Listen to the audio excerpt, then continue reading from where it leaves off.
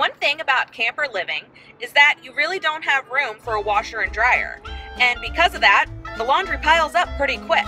So, what I do is I take one day a week and I go and I visit one of my best friends and I help her with a task at her house while she lets me do laundry. Let's go visit Elisa. Hi. Hi. My name is Lucas. I'm nine years old. That's and- Lily. yeah. She's five years old. Yeah. And I kind I'm really excited because I watch YouTube videos like this all the time. Yeah.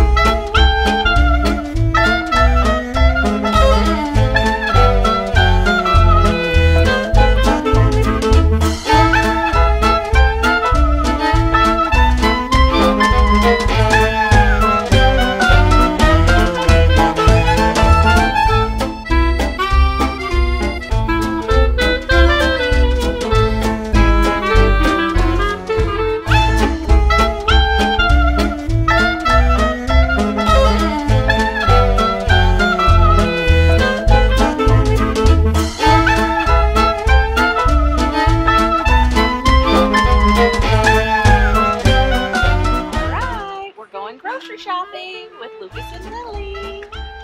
Say hi.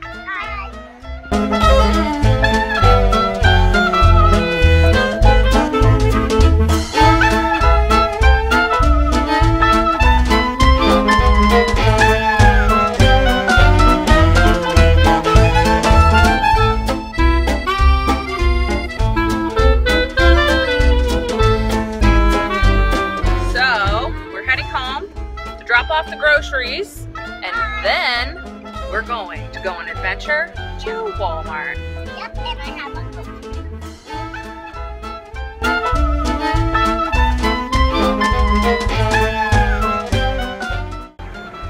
We are lucky enough to be staying in a campground that does have laundry facilities.